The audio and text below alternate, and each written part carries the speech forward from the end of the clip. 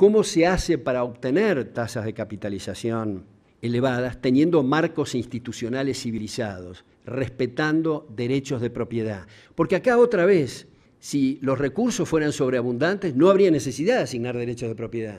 Hay necesidad de, asignar derechos de propiedad porque los recursos son escasos. Y hay que comprender que esa asignación es siempre provisoria el consumidor, el que está vendiendo chicle o el que está vendiendo cocos o lo que fuera, tiene que estar atento a lo que la gente está demandando. Si hay un cambio en la demanda, un cambio en la moda, un cambio en los gustos, un cambio en las preferencias, tiene que adaptarse ese empresario y si no se adapta, tiene que quebrar o ganar menos. Entonces, el cuadro de resultados es clave para esa, eh, asignación de recursos. A veces se dice y se caricaturiza esta cuestión laboral.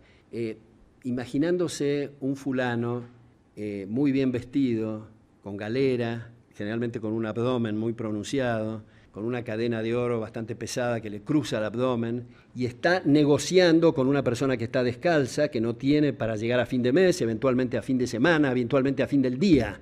Y se dice, pero no me digas seriamente que vos vas a permitir que se negocie entre estos dos fulanos es que ahí hay un error tácito, implícito en este razonamiento, y es que es absolutamente irrelevante cuál sea el patrimonio líquido neto o cuál sea eh, el volumen que tiene depositado en cuenta corriente las partes. Lo importante es cuál es el salario de mercado. Por ejemplo, supongamos que George Soros sea el más millonario de la comunidad y llega a determinado lugar en Uruguay y pregunta, ¿cuánto cuesta pintar mi casa? Y le dicen 10 mil pesos.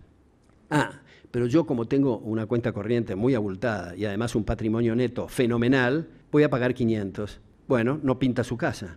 Por definición, si el salario de mercado es 10.000, las tasas de capitalización están exigiendo 10.000, no pinta su casa. Importa nada cuál sea su patrimonio. No importa si está quebrado o si gana muchísimo, tiene que pagar 10.000 si va a, a pintar su casa.